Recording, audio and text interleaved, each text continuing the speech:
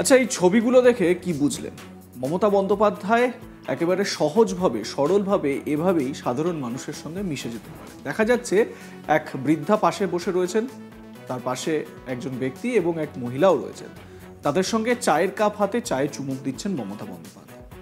Target দু হাজার চব্বিশ, লোকসভা নির্বাচনকে রীতিমতো মাথায় রেখে ডুয়ার্সের মাটিতে পা রেখেছেন তৃণমূল সুপ্রিমো মমতা বন্দ্যোপাধ্যায়। আগামী লোকসভা নির্বাচনে উত্তরবঙ্গের আসনগুলিকে নিজের দখলে আনতে এবং দলের কর্মীদের চাঙ্গা করতে এই মুহূর্তে দলের সুপ্রিমো মমতা ব্যানার্জি ডুয়ার্সের মাটিতে। রবিবার আলিপুর দুয়ারে প্রশাসনিক বৈঠক সেরে সরাসরি আকাশপথে জলপাইগুড়িতে চলে যান, বানারহাটে চলে যান তিনি। হেলিকপ্টার থেকে নামার পর সরাসরি সংযোগ স্থাপন করতে জনগণের মধ্যে মিশে যান। হঠাৎ করে এক বয়স্কা মহিলার বাড়িতে গিয়ে চায়ের আড্ডায় যোগ দেন। সঙ্গে আলোচনাও চলে। দেখুন এই ভিডিওটি। ওই বৃদ্ধার সঙ্গে কীভাবে কথা বলছেন, তার সঙ্গে কুশল বিনিময় করছেন মমতা বন্দ্যোপাধ্যায়, খোঁজ খবর নিচ্ছেন তার। শুনুন।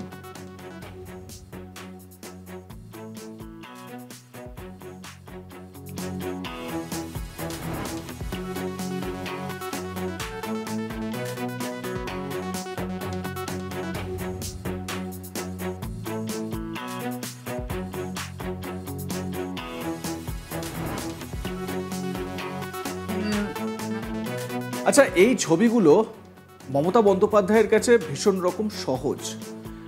মমতা বন্দ্যোপাধ্যায় মানে প্রোটোকলটা সেভাবে তিনি মানেন না কখনো মানে কোনো প্রোটোকলে তাকে আবদ্ধ রাখা যায় না। যদিও যেহেতু প্রশাসনিক প্রধান, সেই কারণে কিছু প্রোটোকল এখন মেনে চলতে হয় বই কি কিন্তু সাধারণ মানুষের সঙ্গে মিশে যাওয়ার যে একটা সহজতম একটা ক্ষমতা তার মধ্যে রয়েছে, সেটা বিভিন্ন সময় দেখা যায়। আর বিশেষত উত্তরবঙ্গে সফর করলে তো এই বিষয়টা বারবার আমাদের চোখের সামনে ভেসে ওঠে। দু হাজার চব্বিশকে মাথায় রেখেই লোকসভা নির্বাচনে রীতিমতো দামামা বাজিয়ে উত্তরবঙ্গের মাটিতে ঘুরে বেড়াচ্ছেন তৃণমূল দলের সুপ্রিমো মমতা ব্যানার্জি। রবিবার বানারহাটে পৌঁছেই তিনি সাধারণ মানুষের মধ্যে মিশে যান। বানারহাট আদর্শ পল্লীতে সাধারণ মানুষের সঙ্গে জনযোগ, জনসংযোগ স্থাপনে ব্যস্ত হয়ে পড়েন মুখ্যমন্ত্রী। বাচ্চাদের হাতে তুলে দেন পুতুল চকলেট। সেই সঙ্গে সাধারণ মানুষের মধ্যে শীতবস্ত্রও বিতরণ করেন তিনি।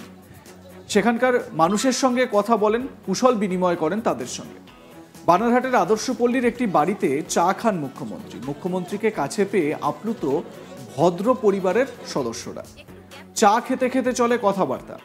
পরিবারের কর্ত্রী প্রতিভা ভদ্র এবং তার বৌমাদের হাতে উপহার ও ফুলের তোড়া তুলে দেন মুখ্যমন্ত্রী মমতা বন্দ্যোপাধ্যায়। আদর্শপল্লীর ওই বাসিন্দা প্রতিভা ভদ্র তিনি মুখ্যমন্ত্রীকে সামনে থেকে দেখে তার সঙ্গে কথা বলে তিনিও বেশ আপ্লুত। কি বললেন তিনি? শুনুন তার বক্তব্য।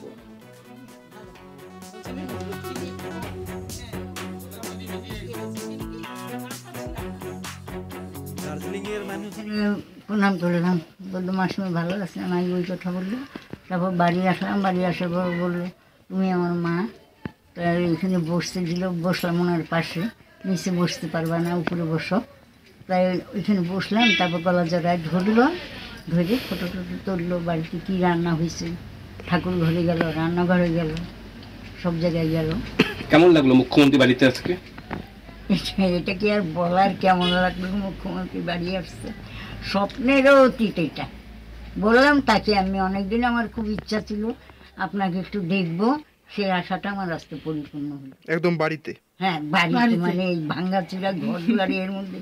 যে এই লোক আসছে বসছে চা খাওয়া এটা মানে স্বপ্নও দেখি না কোনোদিন। প্রতিভা দেবী বলছেন স্বপ্নাতীত।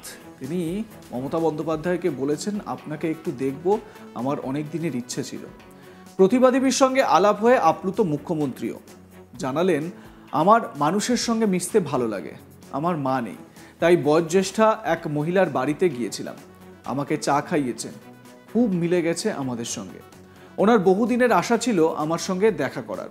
ওনার আশা পূরণ হয়েছে। মমতা বন্দ্যোপাধ্যায় কি বলছেন? শুনুন। আমি আপনাদের ধন্যবাদ জানাচ্ছি যে আমার খুব ভালো লাগে মানুষের সাথে মিশতে এবং আমার মা নেই বলে আমি বয়োজ্যেষ্ঠ একজন মহিলার বাড়ি গিয়েছিলাম তারা আমাকে চা খাইয়েছে এবং পরিবার একটা নেপালি বউ আর একটা হচ্ছে বাঙালি বউ খুব মিলে গেছে আমাদের সাথে। সুতরাং ওরা খুব ভালো দার্জিলিংয়ের লোকেরা একটু বেশি করে চিনি দিয়ে বেশি করে দুধ দিয়ে চা খায়। সেই চা আমায় খাইয়েছে এবং ওনার বহুদিনের নাকি আশা ছিল আমার সাথে দেখা করবার ওনার আশা পূরণ হয়েছে। থ্যাংক ইউ কে বলবে? তিনি একজন রাজ্যের প্রশাসনিক প্রধান মানে কোনো একটি রাজ্যের প্রশাসনিক প্রধান, সেই রাজ্যের মুখ্যমন্ত্রী। মমতা বন্দ্যোপাধ্যায়ের এই যে একদম সহজ সরল যে বিহেভিয়ার এটাই তাকে অন্যান্য পলিটিশিয়ানদের থেকে একেবারে আলাদা করেছে। দেখুন, রাজনৈতিক বিভিন্ন চর্চা, রাজনৈতিক বিভিন্ন বিভিন্ন জল্পনা, তরজা, সেগুলো তো চলবেই। কিন্তু মমতা বন্দ্যোপাধ্যায় ব্যক্তি হিসেবে এবং তার যেই সহজভাবে মিশে যাওয়ার যে একটা ক্ষমতা, এটাই তাকে অন্যদের থেকে একদম আলাদা সারিতে রেখে দিয়েছে। সোমবার ডুয়ার্সে চা বাগান শ্রমিকদের জমির পাট্টা দেওয়ার অনুষ্ঠান, সেই অনুষ্ঠানও সারেন সরকারি পরিষেবা প্রদান অনুষ্ঠানও সারেন মুখ্যমন্ত্রী। সেখান থেকে এই পাট্টা প্রদান কর্মসূচির পর তিনি শিলিগুড়িতে সভা করে কলকাতায় ফিরবেন, এমনটাই তার শেডিউল প্রোগ্রাম এবং মমতা বন্দ্যোপাধ্যায় জলপাইগুড়িতে সেই সভাও করেছেন। সরকারি পরিষেবা প্রদান অনুষ্ঠান সেখানে জমির পাট্টা বিলি করেছেন এবং এই সভা থেকেই মমতা বন্দ্যোপাধ্যায় তিনি বিজেপিকে টার্গেট করেছেন এবং তিনি বলেছেন যে বিজেপি একদম সর্বনাশ করে দেবে। বিজেপির যে ডাকাত, বড় বড় ডাকাত, সেই ডাকাতদের কথা কেউ বলে না। সম্ভবত মমতা বন্দ্যোপাধ্যায়ের দলের যে সমস্ত বিভিন্ন নেতা মন্ত্রী বা বিধায়কদের বিরুদ্ধে একের পর এক অভিযোগ সামনে আসছে, এখনও পর্যন্ত চারজন বিধায়ক নিয়োগ দুর্নীতি মামলায় তারা গ্রেপ্তার, জেলে রয়েছেন, তার মধ্যে দুজন মন্ত্রীও।